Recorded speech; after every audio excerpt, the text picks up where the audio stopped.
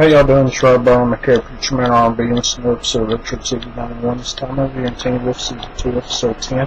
What happened on this week's episode is Scott and Stiles goes to Stiles' dad, and they're trying to convince him that, oh crap, I can't remember his name again. The guy who's controlling Jackson is the murderer, and the way they convince him is, is they look on security camera and they see that he's talking to Scott's mom, and Scott calls his mom and sends him a picture of this guy, and she remembers him because he was tracking blood on the floor. So this makes Stiles' dad look back at the footprints of each crime scene, and it makes this guy there on every crime scene.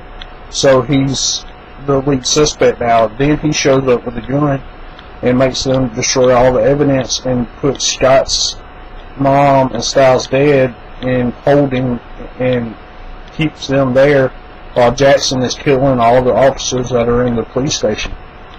Well, while this is happening, Alice is going to use the note that her mother left her, and now she wants to kill Derek and anybody who tries to stop her from killing Derek. And she tells the agents to go and to go to the police station and attack Derek and the Kanima, who's Jackson. And they go there and they shoot up the police station and put smoke and they go in and Allison is trying to find uh, trying to find Derek and she finds Jackson and her and Jackson had this fight and she stabs Jackson like five or six times.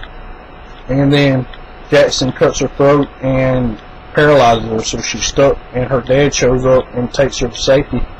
Well after this the guy who's controlling Jackson starts running away, and Allison's grandfather, Gerard, drowns him in a lake and takes control of Jackson. Now Gerard controls Jackson. And what else is happening? Scott's talking to Gerard and telling him it ain't supposed to happen like this. I've done everything you told me to do.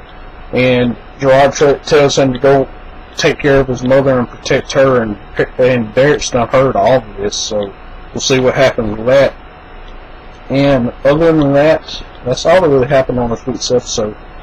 Uh, my question for y'all is, now that Derek knows Style, uh, knows Scott was the, working with Argent, what's going to happen? As always, put your arm beside that. That's the exhaustions from episode of 291. See you next time.